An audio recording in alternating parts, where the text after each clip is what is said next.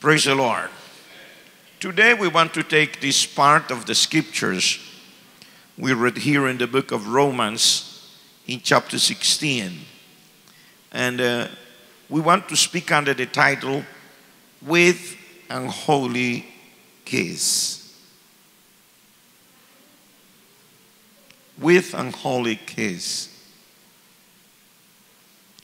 Right here in the first two verses, is just a part of the people that the apostle is greeting. We have a, a group in verse 14 and another group in verse 15. I don't want to st- uh, stay much speaking about these two groups, but I want to just emphasize to you something. The apostle just called the name of a group of people. In the case of verse 14, it says Asyncritus, Phlegon, Hermas, Patrobas, Hermes. Five people. And it says, and the brethren which are with them. In verse 15 again, it says, Salute Philologus and Julia, Nereus and his sister, and Olympas, and all the saints which are with them. So these two groups of people, they were working together as a team somewhere uh, in Rome, but they were leaders together. There is not a single one that is named as the leader, but just the whole group. And then what makes me understand that these people used to work in a proper unity is what it says at the end of the verse. It says, and the brethren which are with them. And in the second group, it says, and the saints which are with them. It doesn't say, and the saints which are there. It says, and the brethren which are with them. Not with one, but with them.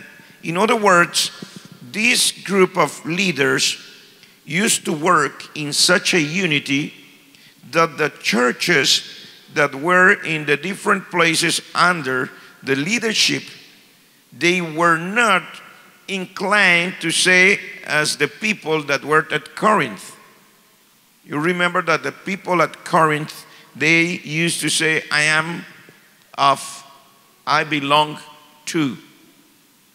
And so they called the name of Paul or the name of Apollos or the name of uh, Cephas, which is Peter, uh, all the ones called on the name of the Lord to say, I belong to, I belong to. However, here it says, greet this group of leaders and the saints which are with them. It means there were no frictions while they developed their work for the Lord as leaders together of a church in particular. But they were working so smoothly. The unity was so clear that the congregation didn't have any problems with any of them. It says, the saints which are with them. May the Lord give us the understanding. And may we receive that understanding. What really means unity. Because unity will make church strong. Unity is something that you need in your daily life not only when you come for service. Unity, as I said someday, is not a particular feeling or a strong effort you make at a specific time trying to be one with someone. No, that is not unity. Unity starts in the heart.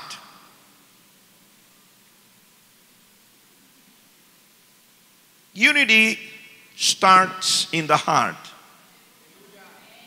Start with what you think about your brother or your sister.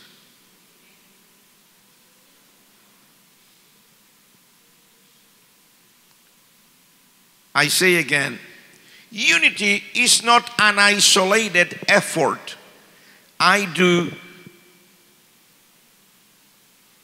to be one with someone at a specific moment in my life.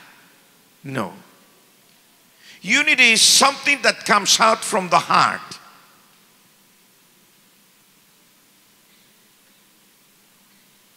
Unity starts with the thought I may have concerning someone.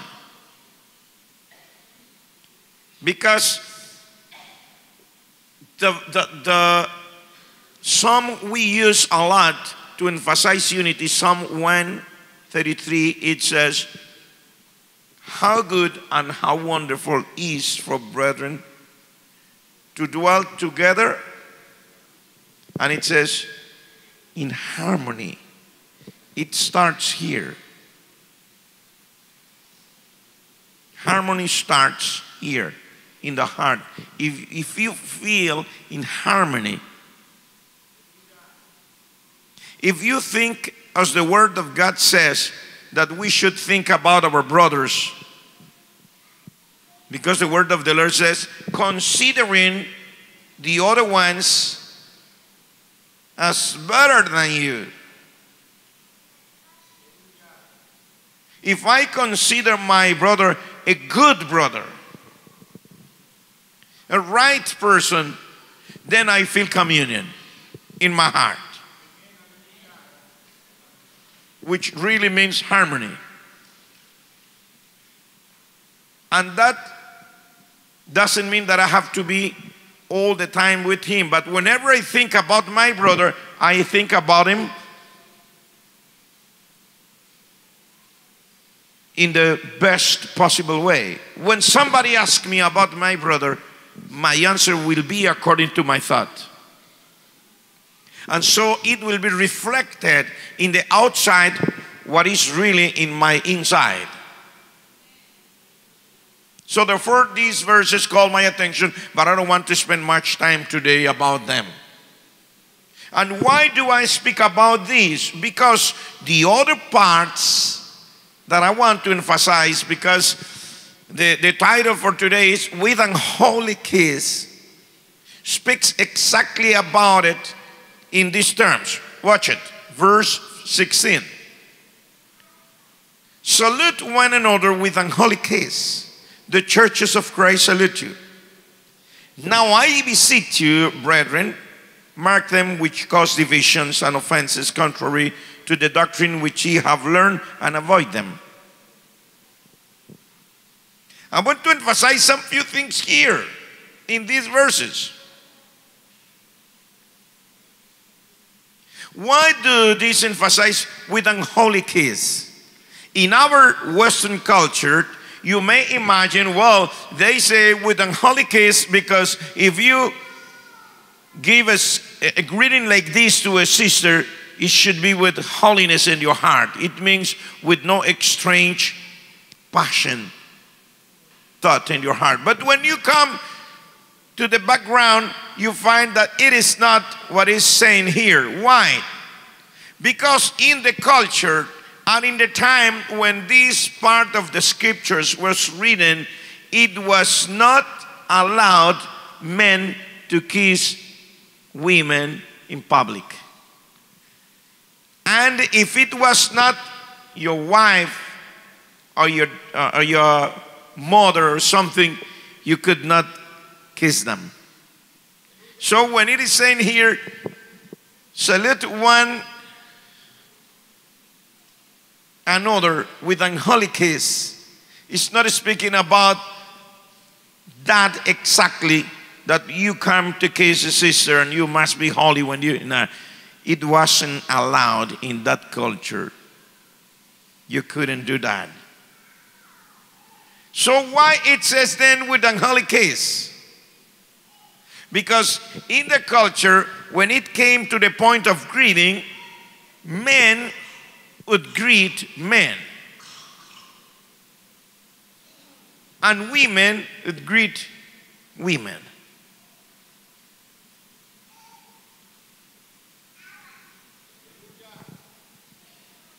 But if you want to understand it, you must go to the context.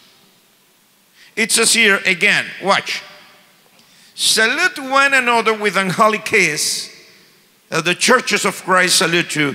Now I beseech you, brethren, mark them which cause divisions and offenses contrary to the doctrine which ye have learned. So now it is speaking concerning something that I was trying to tell you at the beginning. It says, those which cause divisions and offenses contrary to the doctrine. So you could kiss someone and not be with that someone. Are you with me? I say again, if it comes to the point of greeting, I'm speaking in those terms. You could kiss someone and not being with that someone. What? Yes. Judas came to greet Jesus in the night he betrayed him and gave him a kiss. Hail, Master. And the Lord Jesus answered him and said, Do you betray your friend with a kiss? Are you with me? Are you following what I'm trying to show you? So when it says here, salute one another with an holy kiss is speaking about it because it says, I beseech you, brethren, that you keep in check those that cause divisions and offenses against or contrary to the doctrine that you have learned. So it is speaking about people that normally come together but are not one. Because being together doesn't mean to be one.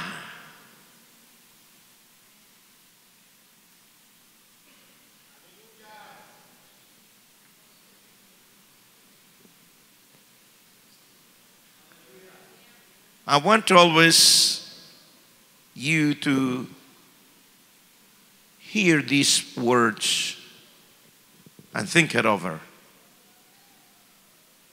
I say again, we can be together and not be one. To be together doesn't mean to be one.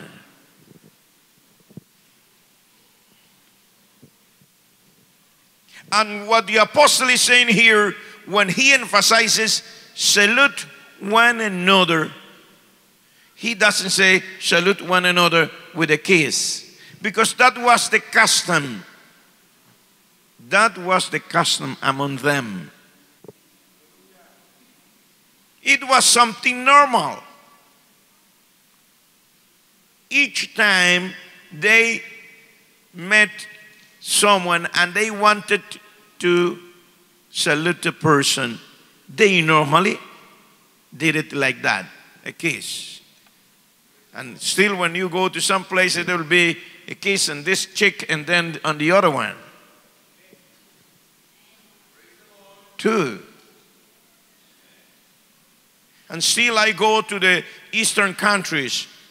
And when I greet special people, it will be like this hug, kiss, kiss. Well, even sometimes they don't just give a kiss now, but they just put their cheek against yours. And they may hug you. That is something cultural. That is the way that you show respect or you want to show someone that you are good or feel good with his presence right there.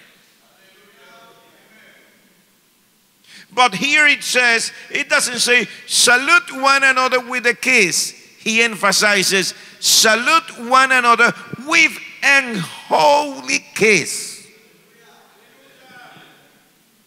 He's saying something. There is a message when he adds that word and says, salute one another with an holy kiss.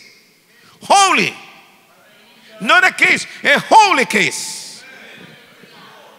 Why? Because he says here, because I want you to mark them which cause divisions and offenses against or contrary to the doctrine that you have learned and to avoid them. It means don't try to show that you are kissing someone who is not in agreement with the Word of God and he is even not in agreement with the rest of church.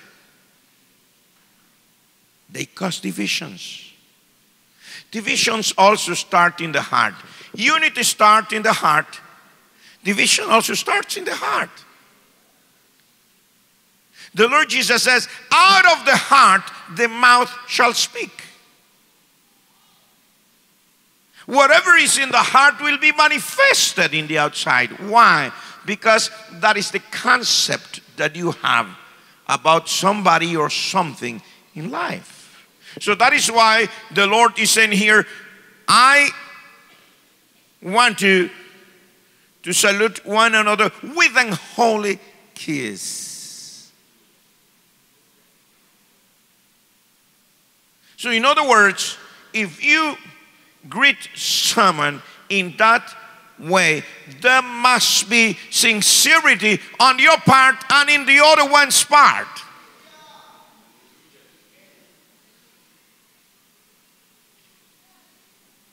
Are you here with me this morning?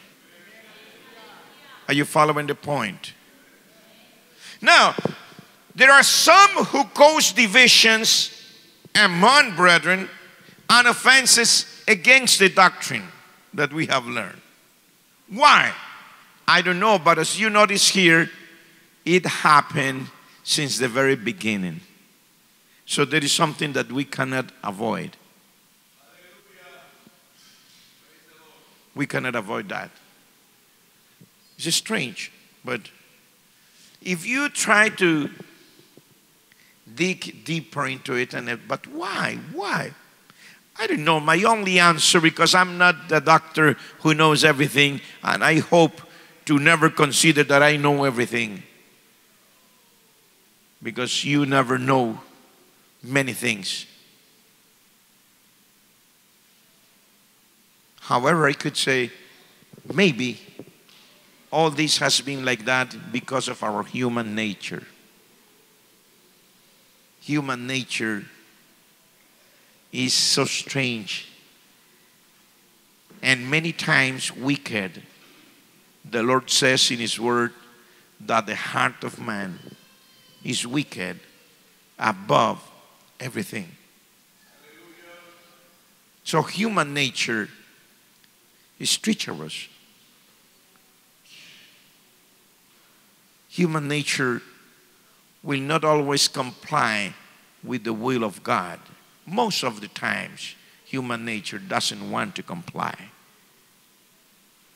So here you will find in the very beginning in the church people who don't agree with the rest of the church. And they cause divisions. It means, how do you cause divisions? With your attitude, when I show displeasure whenever something is going on, with my speech, because not only show with my actions or with my gestures, but sometimes with my speech. Someone asked me about the church, and then I started showing displeasure. It means I don't feel good now. I don't feel agreement now. When you say that, you immediately are putting in the heart of someone else a question mark in his heart. Why do you feel like that? Is there anything wrong that you know that I don't know?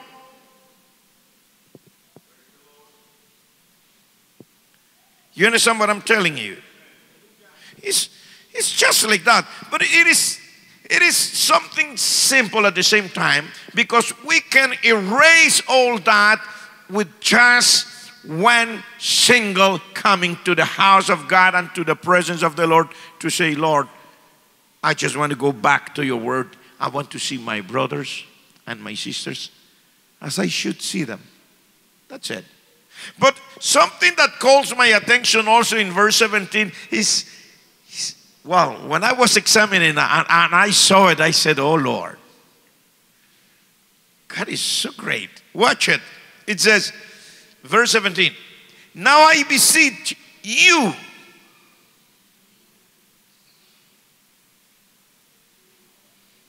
To beseech is the same that to beg. Now I beg you to mark them which cause divisions.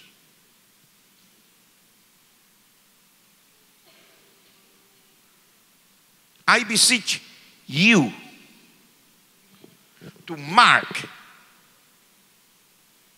them which cause divisions. You understand? I beg you, brother. I beg you, sister. It is what the Lord is saying here. I beg you to mark them which cause divisions and offenses against the doctrine that you have learned. But you know what caught my attention? There is a long list. The whole chapter 16 is a whole list listing names, names, names, names, names.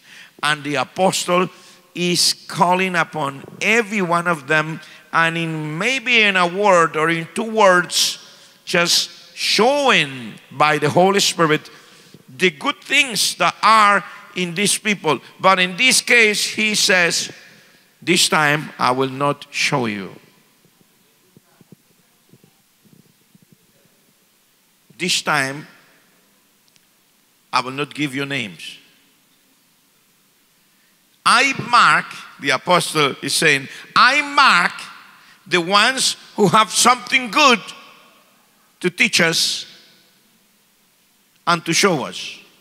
But you are the one to mark the one who is not right.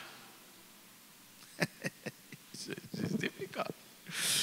In other words, I don't know if you understand. I mark, because that is what he is doing, I mark all the good brothers, sisters, leaders, and so on in the church. But you mark the ones who cause divisions and the ones who are uh, causing offenses against the doctrine. So it is your task. Why? Because it must be something that you do with a clean heart. You should not consider that someone is wrong because I tell you.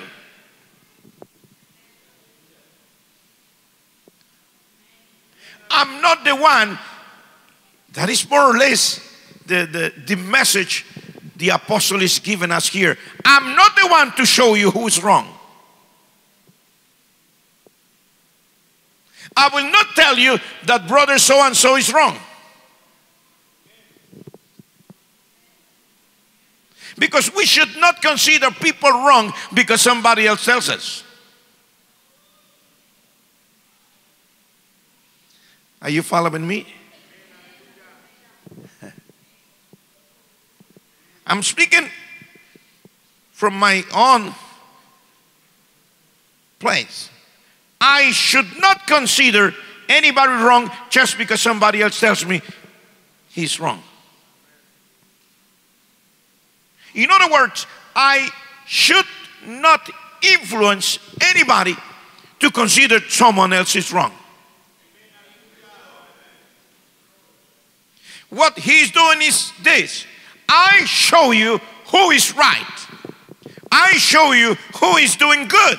I show you who is complying with the word. I show you who is a good leader. But if you want to know who is causing divisions, that is your task. If you want to see who is offending the doctrine of the Lord Jesus, that is your task. I will not point to anybody.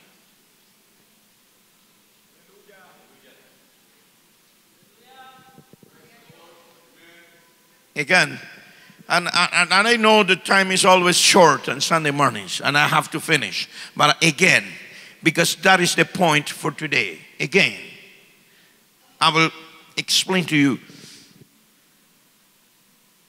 The apostle is saying, I will give you the names of these good people, good leaders, people who are helping, blessing the church, and all these things. I will show all these things to you.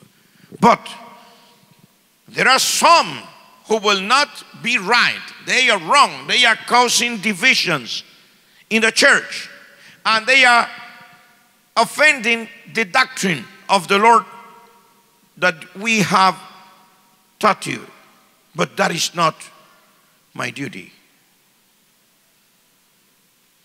I will never influence you towards anybody. There are some who cause divisions, but you are the ones with the task of marking them, not me.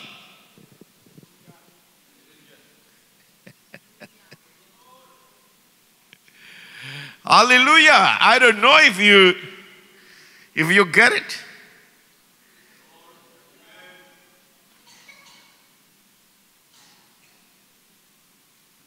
And it is the apostle. And uh, just let me close my Bible to make sure that I'm ending the message today. But is that the way we do? I, when I was studying this, I said to myself, Oh Lord, forgive me and forgive us. Because many times we do the opposite.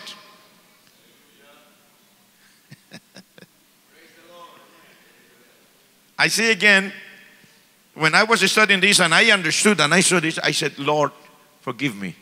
Because the apostle is marking them which are right and says, if you want to know who's wrong and who's causing division, you are the one to mark them. But many times we do the, the opposite. We mark all the ones we consider wrong. And we never who we never mark and say anybody who is right.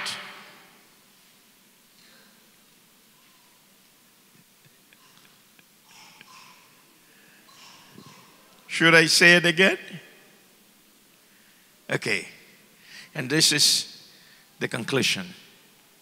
Many times we are always marking the ones who are wrong. And telling and showing who's wrong. And we forget and never mark anybody who is right and never say, this one is right, that one is right. The apostle said, I mark the ones who are right and I show you their names. But if you want to know who are the ones who cause divisions and offenses against the doctrine, you are the one to mark them, not me. Good, huh? Did you get it? Time to give thanks, please.